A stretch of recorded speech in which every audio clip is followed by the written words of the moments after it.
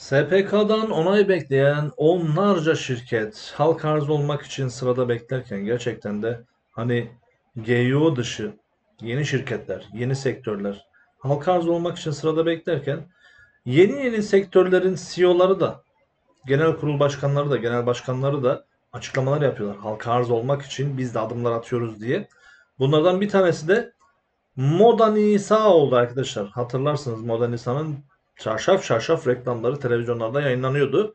Moda Nisa kurucu ortağı ve genel müdürü Sami Güzel yaptığı açıklamada birkaç yıl içinde halka arza gitmeyi hedefliyoruz demiş. Moda Nisa birkaç ay önce şu da aslında sırada bekleyen onlarca şirketlerden birkaç arkadaşlar görüyorsunuz. Cem Zeytin'den Destek Finans'a, Ferbis'ten Çimko'ya kadar Yiğit Akü, Gediz, Akasya, Soybaş, Formül Plastik gibi onlarca şirket halka arz olmak için bekliyor. Halkaarz.com sitesinde taslak izahnamelerde, taslak arzlarda bunları görebilirsiniz. Şurada bakın ne demiş. Nisan ayında alternatif portföy yönetimi şirketi Repay portföy tarafından satın alınan e-ticaret ve online giyim platformu Moda Nisa gündeminde halka arz varmış.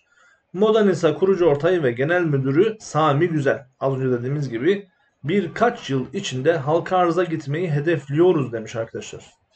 Umuyoruz yakın zamanda gelir. Ne diyelim? Umuyoruz SPK yakın zamanda onaylar.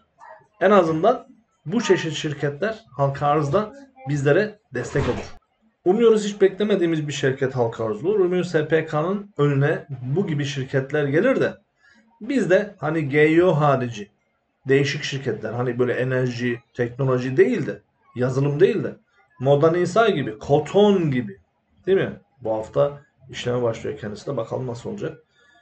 Biz buradayız arkadaşlar takip edeceğiz. Moda Nisa'da hazır hayırlı şimdiden hayırlı olsun diyelim bakalım. İnşallah kurucu ortağı gerçekten de dediği gibi birkaç yıl içinde halka arzına çalışacak mı? Göreceğiz bakalım. Biz buradayız görüşürüz.